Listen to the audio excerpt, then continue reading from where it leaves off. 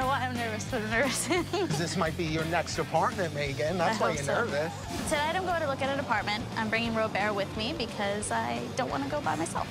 Hello? Hi, it's Megan. Oh, hey, come on up. All right. I've been living with roommates for months, and that has made it impossible to have my boyfriend over. I can finally afford my own apartment here in New York, and I'm super excited about it. Hello. Hey. Hi. Must be Megan? Yes. Hi, Ed Murphy. Very nice to meet you. Ed. to meet you. He's my uh, interior decorator consultant today. I can walk into any open, empty space and totally transform it in my mind. Think this is a decent sized bedroom. Yeah, you can fit a bed and a dresser.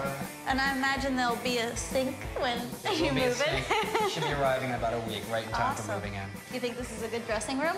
I think I would love to have my own dressing room. Yeah. Shelves for all my shoes. Mm-hmm. I want it to feel like home, you know?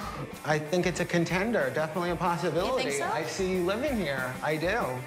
And I am going to help you transform it if you take it. Yeah. I really want to have a cool apartment with cool paint and art and furniture, and I really think he's going to give me some cool insight on what we could do with the place. I already see the paint rollers in our future. I see the velvet. I see all the over the apartment. paint, everything.